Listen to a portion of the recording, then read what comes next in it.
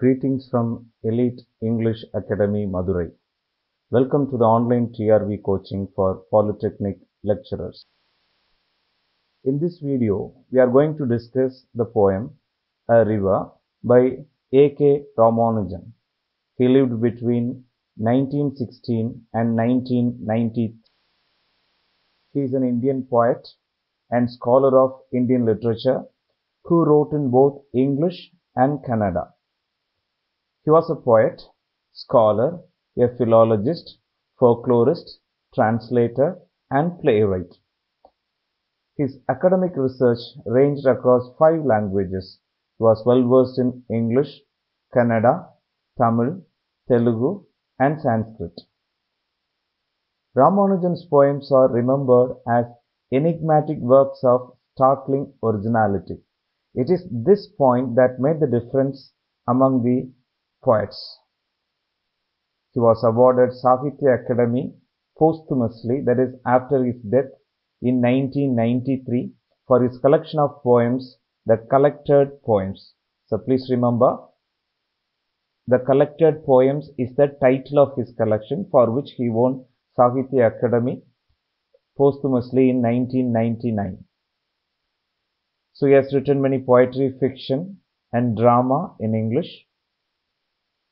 The titles are The Striders in 1966, Relations in 1971, Samskara in 1976. It is a translation of Anam, Ananthamurthy's Kannada novel. Then he wrote a second sight in 1986. His important poems from the Striders is A River, Conventions of Despair, Looking for a Cousin on a Swing, Speaking of Shiva. So the given poem, A River, is from the Striders. So it is an important information, please note. So the given poem in this syllabus, A River, is from the collection, The Striders, which was published in 1966. Now let's discuss the poem A River. So this is a poem which talks about an incident in Madurai.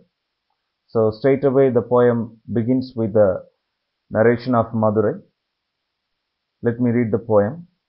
In Madurai, city of temples and poets, who sang of cities and temples, every summer a river dries to a trickle in the sand, barring the stand, sorry, sand drifts, straw, and women's hair, clogging the water gates at the rusty bars under the bridges with patches of repair all over them, the wet stones glistening like sleepy crocodiles, the dry ones shaven water buffaloes lounging in the sun, the poets only sang of the floods. So the first stanza, the poet talks about a summer in Madurai. So Madurai is called as city of temples and poets. So mostly the poets of Madurai, they sang in praise of the city and temples. Every summer, a river dries to a trickle. Trickle means small water pool. A river dries, the river, uh, there is no flow of water. So only pool of water is uh, here and there in the sand, barring the sand ribs. So it is the personification. Sand does not have rib like human beings. When the river bed is given the human quality or human uh, physical feature rib, so it can be considered as personification. Straw and women's hair clogging the water gates at the rusty bars under the bridges.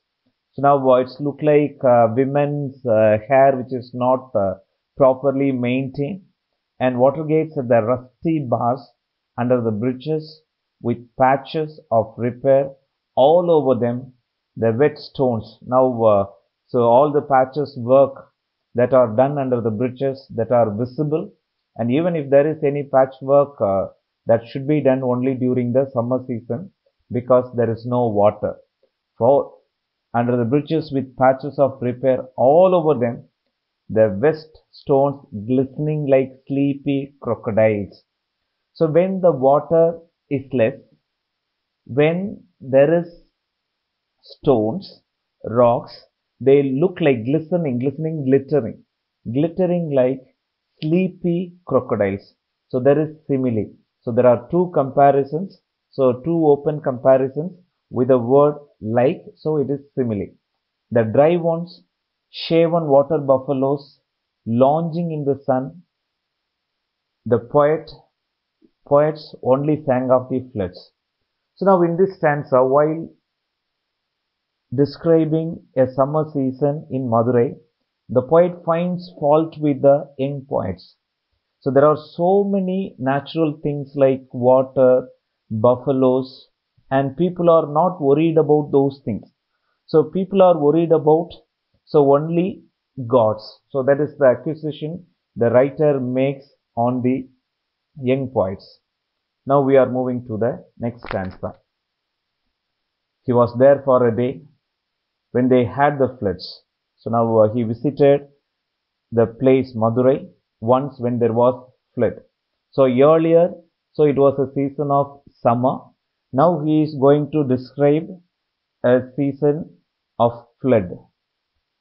People everywhere talked of the increasing inches rising, of the precise number of cobbled steps run over by the water rising on the bathing places. So now it is the season where the water is flowing. So people are very much worried about the uh, rise of the water level.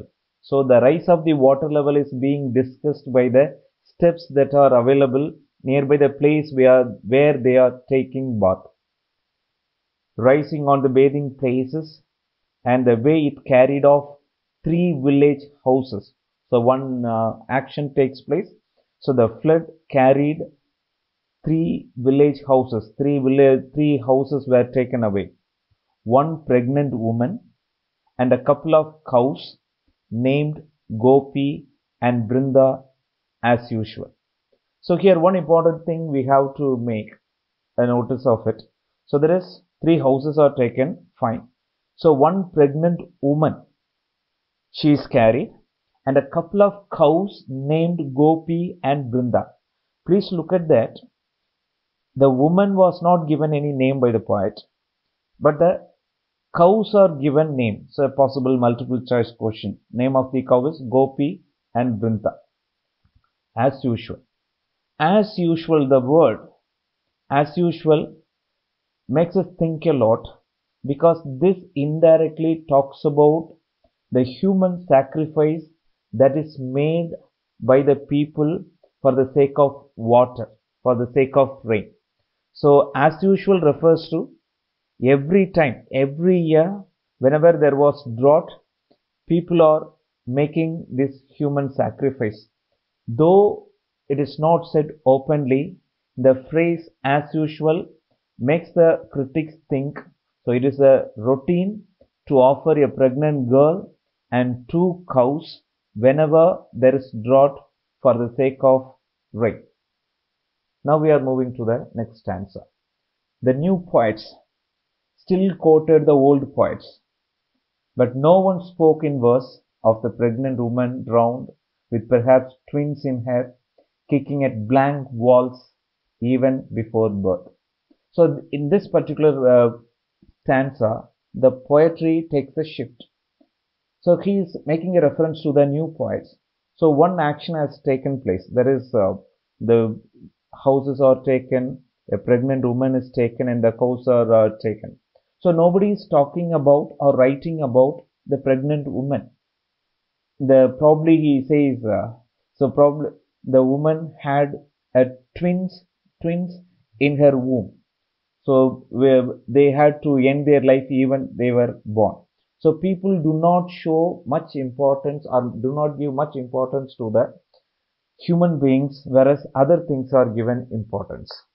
So the last stanza, he said, the river has water enough to be poetic about once a year and then it carries away in the first half hour three village houses, a couple of cows named Gopi and Brinda, and one pregnant woman expecting identical twins with no moles on their bodies with different colored diapers to tell them apart. So the last stanza conveys that. So it is a routine. Once a year it uh, takes place three cows, three houses and a couple of cows and a woman. So this shows that again it is a routine in which the women uh, the woman is given as a human sacrifice as an offering to God. So this particular poem talks about three important things. So first the description of summer season in uh, Madurai in which there is no water. The second stanza talks about the opposite. So when there is flood, how the three houses are taken, a couple of cows are taken, and a pregnant woman is taken away. And again, he finds fault with the young poets. There are lots of things to write about, but nobody is worrying about human beings. Only the non-human thing beings are given importance and also the poets are not creative. They are just quoting from the old masters. Points uh, to remember. So a small recap of what did we discuss. So this poem refers to Vaigai river in Madurai. River is considered as a helping and destructive force. So there are wet stones that look like sleeping crocodiles. So the figure of speech used here is simile. The dry stones look like uh, shaven water buffaloes lounging in the sun. So they're lounging or taking rest. The poet speaks of the river in flood in the rains. The river carries off three village houses, one pregnant woman, and a couple of cows named Gopi and Brinda. She may have drowned with not one life in her but two. So three human lives are uh, taken. So the humor involved in this particular poem is cows are given names, but nobody knows the name of the woman. So it talks about uh, human sacrifices. We do not have evidence uh, of human sacrifice at present in Madurai, but it is widely believed whenever there is drought, so human sacrifice was there. So there may be twin babies. The poet A.K. Ramanujan, he is worried about the unborn babies also. So the tone is irony and sarcasm. Because uh, he talks about uh, dry season as well as uh, flood season. And he talks about this in a sarcastic way about uh, the young poets who do not uh, write creatively and quoting the old masters. And finally it criticizes the human sacrifice. Uh, dear learners so this is how all video lessons will be there if it is a poetry so the poem uh, text will be explained the important factual information and poetic devices will be pointed out. Then some important review would be there. So if you follow our lectures closely, definitely you can answer any question that is to be asked in the exam. So please uh, uh, share this information among your friends. If you also wish to join, please contact Elite English Academy, Madurai. Thank you. All the best.